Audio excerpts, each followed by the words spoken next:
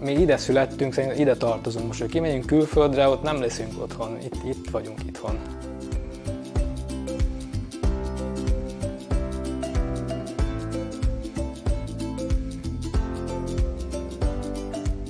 A vállalkozáson 2020. január végén indult be, igaz, hogy nem ezzel a tevékenységgel, hanem művészeti tevékenységek szervezésével. Ugye itt a koronavírus helyzet alatt nem voltak rendezvények, amiket szervezzünk, és mivel van egy három éves kislányunk, meg ugye nekem egy szakmám, ami asztalosság, ezért azon gondolkoztunk, hogy ezt a kettőt hogy tudjuk összekombinálni, hogy akkor fajátékokat készítsünk. Ez a feleségem ötlete volt, ő találta ki, én meg megvalósítottam, amit ő kitalált.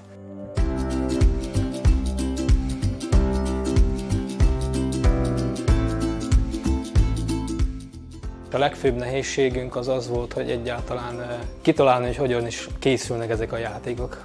Eh, nagyon sokat utána jártunk, nagyon sok videót néztünk, meg olvastunk róluk, hogy eh, valójában milyen anyagot is szabad itt használni, milyen minőségű fanyagot, milyen festékeket, mert ugye nem lehet akármilyen festékeket használni ezekre a játékokra, csak is ami e, erre van előírva.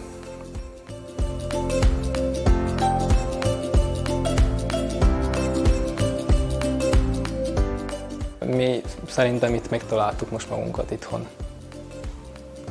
És nem is tervezünk tovább lépni, nem ezt szeretnénk tovább csinálni, amit most csinálunk.